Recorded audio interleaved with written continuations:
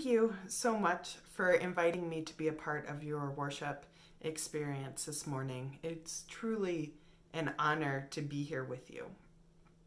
It is a really nice break for me from all of the binge watching of TV shows that I've been doing lately. Um, since we're still kind of in quarantine, I am still just sitting around watching a lot of TV, and I've been able to catch up on one of my favorite shows called The Good Place.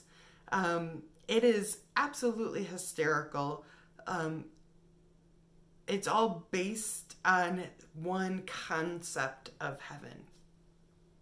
And there's this one character in it called Chidi, who's a moral philosophy professor, and he reminds me so much of the Pharisees at the start of our story today, where he gets caught in these moral dilemmas of should we do this thing or this thing? Is it okay to lie if the lie is to protect others? And he just gets stuck in these thought cycles. And everyone keeps reminding him that this is why everyone hates moral philosophy professors because he gets so caught up in the rules, in the what is right, that he isn't able to act and to live into love, right? So, while he is just an absolutely phenomenal character, and I highly recommend that you watch The Good Place if you haven't already done so, just maybe wait until after um, worship is over and, and then go watch it.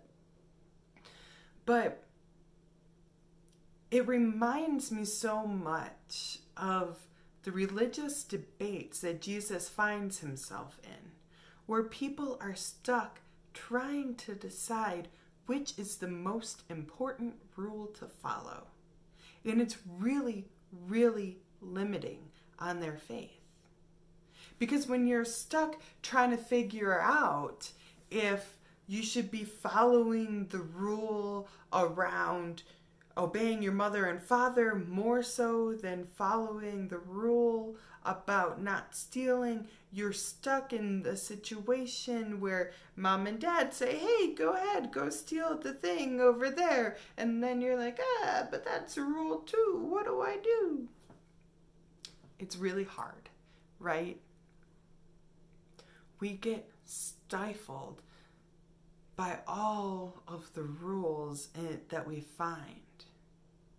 You see, it's like trying to learn a new game to play. And where you get so caught up in how to play the game that the game isn't even fun anymore and it takes all the joy right out of it.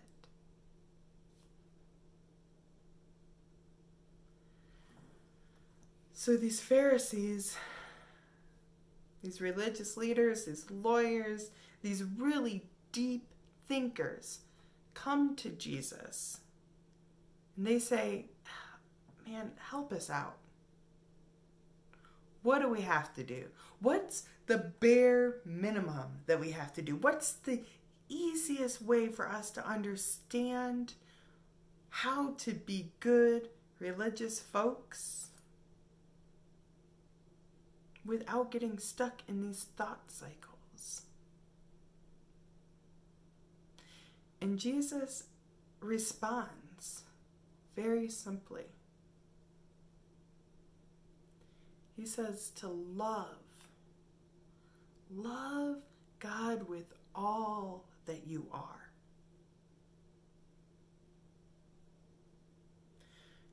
Don't let the rules stop you. Don't let these limitations hold you back love with your whole self.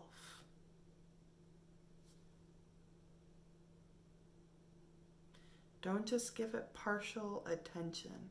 Don't just try to find the easy way out. Don't just check the box of having the online worship service playing in the background while you're actually folding laundry or while you're actually going through the list of all the things that you need to do later today and just making that to mental to do list. Be fully present to God. Be fully present to the Holy Spirit at work in your life.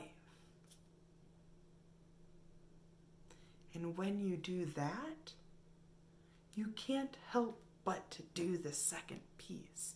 Because when you are fully loving God, then that love is going to naturally overflow into loving God's creation, your neighbor.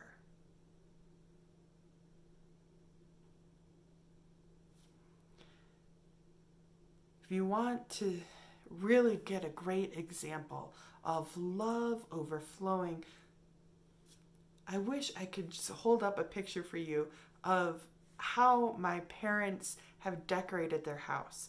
To this day, they have all of the art projects that my brother and I did in elementary school on display for everyone to see. And let me assure you that my brother and I, we are not at all the next Georgia O'Keeffe or Picasso or Michelangelo. Mm-mm. No, that stuff isn't pretty. It's just not. But my parents' love for us overflowed into the love of things that we created. How much more should our love of God overflow to God's incredible creation? To the earth itself and to all of us who live here. Hmm.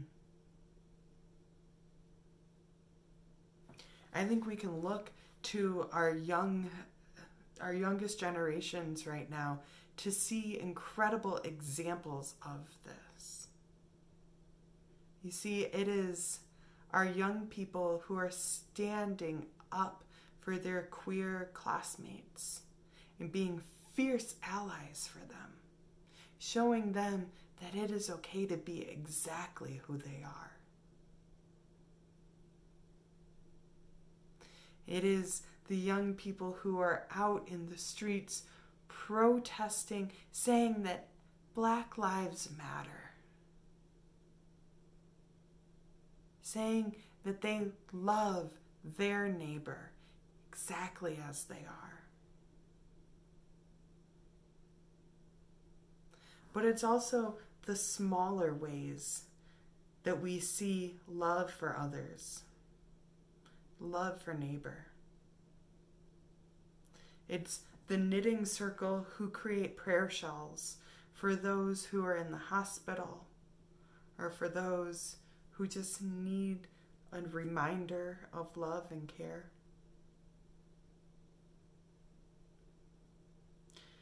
It's the people who went out and bought groceries for their neighbor when it wasn't safe to go to the grocery store. Sometimes love for the neighbor looks like chalk, sidewalk chalk art, statements of, You've got this. You are loved. Keep going. Persevere. That is love for your neighbor.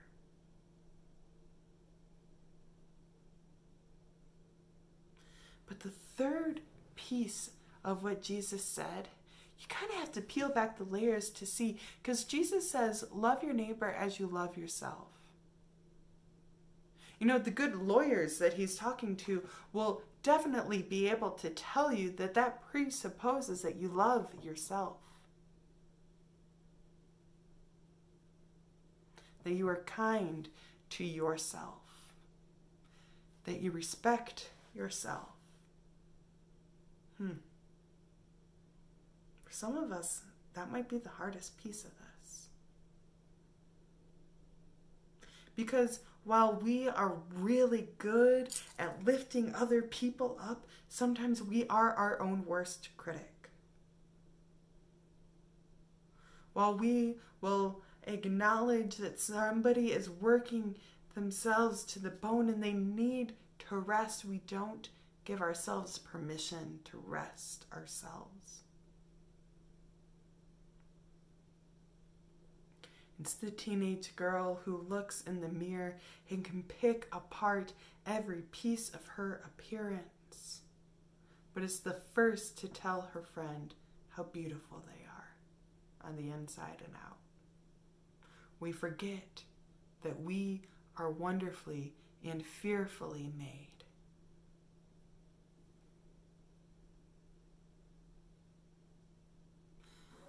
So, which piece do you need to focus on in your life this week?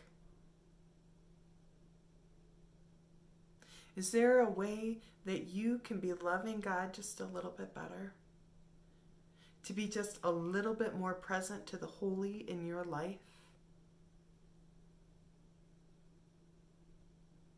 Is there a neighbor that you need to be more kind to? Is there a way that you can step up in your community to love better? Or do you need to slow down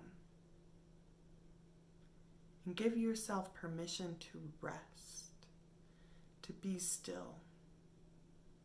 to say an affirmation to yourself that you are wonderfully and fearfully made, that you are loved, that you are important.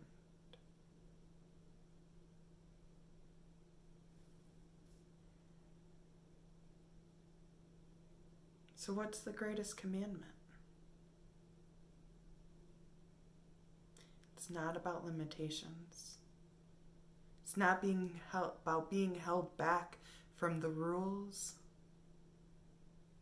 It's about being set free to love, to love boldly and to be authentic in who you are.